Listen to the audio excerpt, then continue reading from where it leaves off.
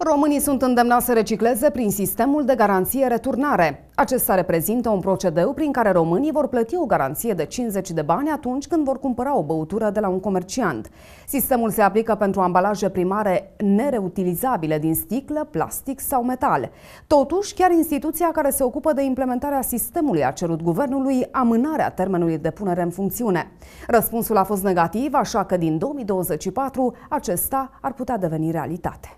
Ministrul Mediului a respins uh, cererea companiei Returo de amânare a termenului uh, pentru punerea în funcțiune a sistemului de garanție returnare. Acest sistem vizează asigurarea unei garanții de 50 de bani uh, atunci când cumpărăm o băutură de la un comerciant. De asemenea, ministrul a mai declarat că um, această companie a avut destul timp pentru a pune la punct întreg sistemul și este crucial ca acesta să intre în vigoare la data stabilită.